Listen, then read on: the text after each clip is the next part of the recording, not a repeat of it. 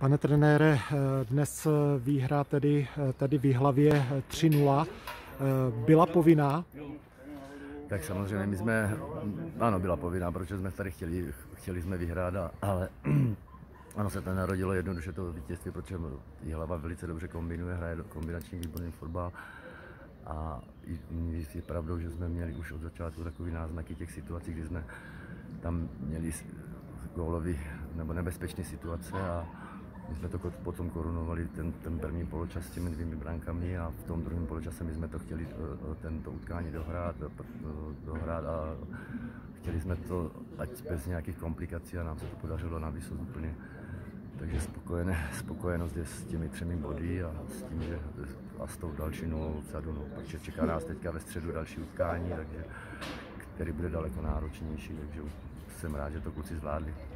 Předpokládám, že i proto jste eh, snad poprvé, jestli se nepletu, vystřídal hned pět hráčů, abyste ty eh, síly proti tomu náročnějšímu středečnímu soupeři ušetřili. Ano, to byl hlavní důvod tady toho utkání středeční pro, to, pro toto střídání. Eh, ten terén byl docela mokrý, nebál jste se o nějaké zranění? Tak to, to člověk s tím nemůže jít na hřiště s tím, že se, že se, že se bude bát, že se někdo zraní, prostě ten přináší to, ten fotbal to přináší a bohužel dneska to odnesl teďka v závěru právě posledním míčem odemhraným Mateusem, takže to je problém trošku. Eh, nemohl jste eh, nasadit ani Filipa Holmana, eh, tak snad to do té středy bude lepší, aspoň něčem, protože ten soupeř, jak jste říkal, náročnější, Sigma Olomouc B také vyhrává, tak jako my, takže možná souboj aktuálně dvou nejlepších týmů MSFL s nejlepší formou, nebo ne?